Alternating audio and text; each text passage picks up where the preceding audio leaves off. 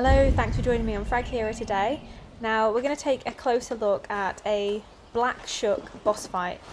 A Shuck is a legendary ghost-like wolf character from Old English lore. So as you'll know, Assassin's Creed Valhalla is set in both Norway and England. This gameplay demo that I got to play was the second half of the East Anglia story arc, so we're here in England and it's the Shuck boss fight that we're about to take on. So I just thought I'd give you a little bit of insight on how to defeat the Black Shuck.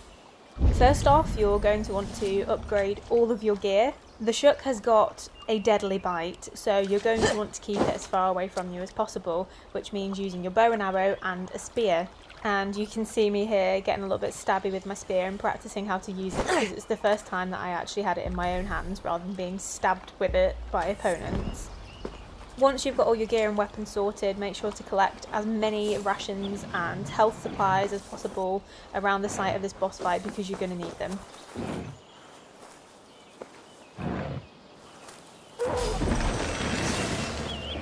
Now the key thing to remember when taking on the Black Shuck is to keep your distance. So use those abilities and especially on your bow and arrow, you've got the multiple arrow fire option and it very nearly bit my head off but it was worth it. Anyway, I'll let you experience this Black Shuck boss fight in all of its intensity and glory. But your parting gift of knowledge to go away with is to remember to pick up rations off the floor or you will die.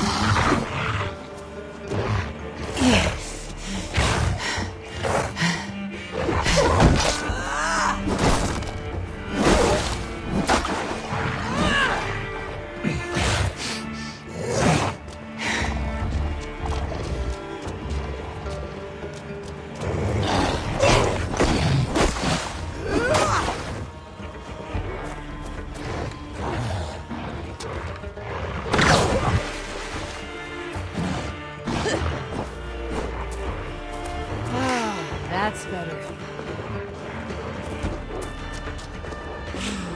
Thor lends me strength.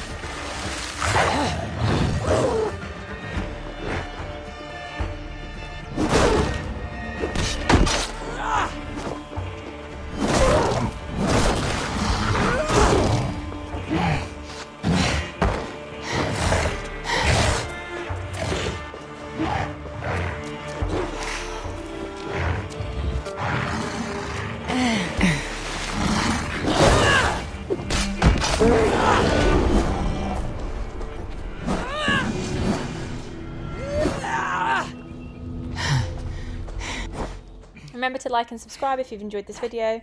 I've also got Assassin's Creed Valhalla missions gameplay on the FragHero YouTube channel for you to check out along with more gameplay coming soon. Thanks for watching.